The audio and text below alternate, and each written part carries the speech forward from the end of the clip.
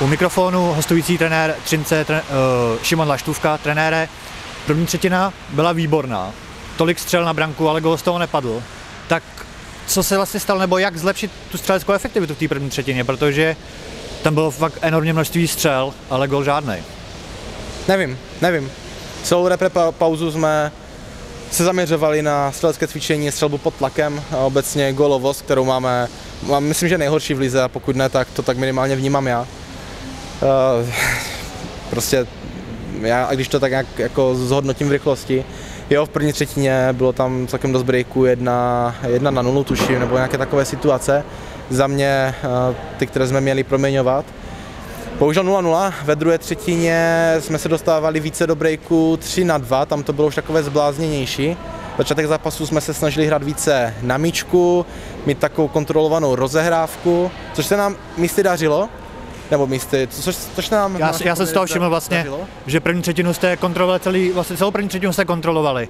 Byli jste fakt dobrý na balonku, v klidu jste rozehrávali, a ta druhá třetina vlastně, jak by se něco stalo v šatně, a holky přestali hrát to, co chtěli. Ten klid na balonku tam nebyl, zbytečný nahazování, vlastně vy jste se podřídili tomu Liberci, který vlastně nahazoval ty míčky, nekombinoval a vlastně vy jste v půl do toho, do toho stejného utkání, jak hrál Liberec. Tak vlastně co se tam stalo, protože pak jste dostali dva góly a 30 sekund před druhou třetiny, před koncem druhé třetiny jste snížili na 2-1, což vám asi pomohlo, hmm. ale bouřka v musela být určitě. Uh, jo, měl to hodně podobný průběh jako v pátek proti Budočkám, kdy první třetinu jsme odehráli za mě výborně, ale přesně to, co se stalo, jo. Byl tam výpadek eh, ve druhé třetině, jak eh, v pátek, tak vlastně dneska. Za mě hlavně kvůli toho, že jsme se zase trošku zatáhli, nebyl tam ten potřebný tlak na to, aby soupeře, abychom dostali soupeře pod tlak. Samozřejmě, my si se to dařilo, díky toho jsme potom právě chodili do těch breaků 3 na 2, ale 3 na 2, ale prostě to proměňování šancí, to je, to je katastrofa. Na co nám je herní, takhle, samozřejmě jsme rádi za pěkný herní projev, že se to asi mohlo líbit divákům, nicméně furt se hraje na ty góly a to, to rozhoduje ty zápasy a s Libercem tohle to je prostě už uh, zkouška psychiky, protože čtyři zájemné zápasy, čtyři o gól, u nás srovnané půl minuty před koncem, že jsme šli do prodloužení, prohráli jsme na nájezdy, dneska sekunda před koncem. Je to, je to věc a už ani nevím, jestli to souvisí uh, s florbalem. Možná se zaměříme i na jiné věci, ale mrzí nás, že dneska zase to bylo blízko a bohužel, bohužel pouze za bod. Vlastně já jsem si všiml, že Liberec hrál jenom na dvě liny. Občas doplňoval o pár hráček z třetí liny. Tak počítali jste s tady tou variantou, nebo jste se vůbec na to nezaměřovali? Mm, poslední dobou se nám osvědčuje zaměřovat se na, na naši hru, protože soupeři prostě hrajou ve směs podobně, ty herní návyky tam jsou stejné. My se snažíme zaměřovat na nás a to je to, proč se teďka zvedáme, protože ta naše hra se zvedá, není to už jenom o tom dobře odbránit soupeře, ale už nějak přehrávat soupeře. Samozřejmě eh, zmíním jméno Kaja Klubolová, úžasná hráčka, jako na ní jsme se prostě uh, připravili nebo věděli jsme o ní. Ani jsem tak asi neřešil ty dvě liny se vším respektem soupeři, ale Kaja je prostě uh, o level jinde, než byly prostě všechny hráčky na celém hřišti.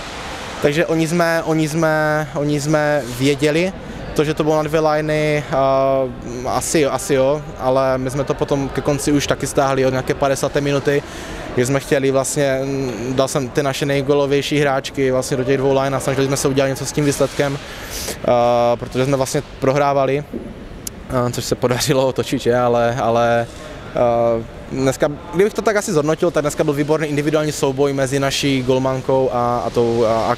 Naše golmanka nás podržela jak proti buločkám, tak dneska, to, což ji určitě chci jako pochválit. A, ale jak říkám, no je, to, je, to, je to o nás, zaměřujeme se na nás a dneska jsme si to prohráli my naší neproduktivitou. 30 sekund před koncem vlastně jste dali vítězný gol, ale vlastně vítězný nebyl, pač dvě vteřiny před koncem jste gol dostali z takového chru, schrumáže vlastně. Vaše brankařka dva góly tam chytla, pak tam vyplul balónek a do prázdní brány vlastně gól, tak jak bylo těžké namotivovat ty holky do toho prodloužení, protože určitě byly jako psychicky na dně, vlastně 30 sekund před koncem vedli a pak se stalo tady to. Nevím, jestli to bylo 30 nebo dokonce 12 sekund do konce, to bych teďka, to bych teďka kecal. Jo, nepodařilo se nám odbránit eh, těch 12 sekund, zahráli jsme to za mě neskušeně a to je ta věc, se kterou se jako Nováčci prostě potýkat budem. Je to ta možná neskušenost v těch finálních fázích, Nicméně strašně by mě mrzelo, kdyby se to zhodilo na tenhle ten moment v posledních 12 sekundách, protože uh, my jsme za 60 minut dali pouze 4 branky a to v takovémhle zápase, kde jsme těch šancí měli opravdu hodně, tak jsme jich měli proměnit minimálně 6-7 a byl by to jiný zápas.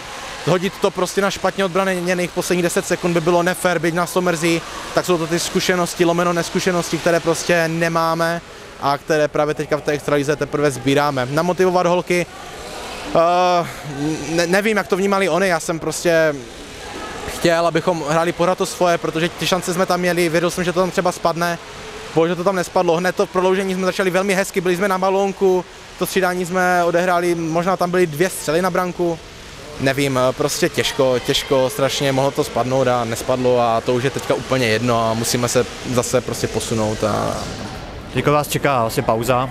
Budou mít holky nějaký domácí úkoly, individuální plán, nebo budou mít volno na rodinu, na pečení cukrový, bramborový salát, řízek, dárky, děti, rodina.